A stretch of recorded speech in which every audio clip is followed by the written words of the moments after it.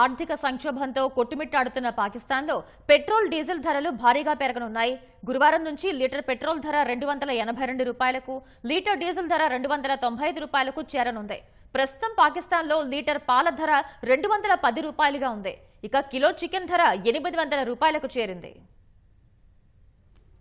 ఎన్నడూ లేని విధంగా అత్యంత దారుణమైన ఆర్థిక సంక్షోభంలోకి కూరుకుపోయిన పాకిస్తాన్ పెట్రోల్ డీజిల్ ధరలు భారీగా పెంచేందుకు సిద్ధమైంది. రుణాలు పుట్టాలంటే అంతర్జాతీయ ద్రవ్యనిధి సంస్థ ఐఎంఎఫ్ విధించిన కఠిన షరతులకు మరో దిక్కులేక తలొగ్గేందుకు పాకిస్తాన్ సిద్ధమైంది. ముడి చమురు దిగుమతులపై ఎక్కువగా ఆధారపడుతున్న పాకిస్తాన్ విదేశీ మారక ద్రవ్య నిల్వలు కరిగిపోవడంతో చమురు ధరలు భారీగా పెంచనుంది. ఫిబ్రవరి ఒకటిన లీటర్ పెట్రోల్పై ముప్పై ఐదు రూపాయలు పెంచిన పాకిస్తాన్ సర్కార్ గురువారం నుంచి మరో ముప్పై ఐదు రూపాయలు పెంచనుంది. ప్రస్తుతం పాకిస్తాన్లో లీటర్ పెట్రోల్ ధర ఆ దేశ కరెన్సీలో రెండు వందల యాభై రూపాయలు ఉండగా గురువారం నుంచి అదే రెండు వందల ఎనభై రెండు రూపాయలకు చేరనుంది.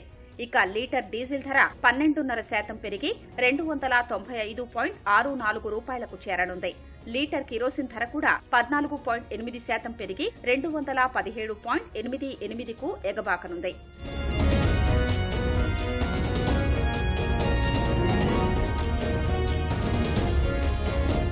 డాలర్తో పోలిస్తే పాకిస్తాన్ రూపాయి మారక విలువ భారీగా పడిపోవడం కూడా దాయాది దేశంలో చమురు ధరల పెంపునకు కారణమవుతోంది.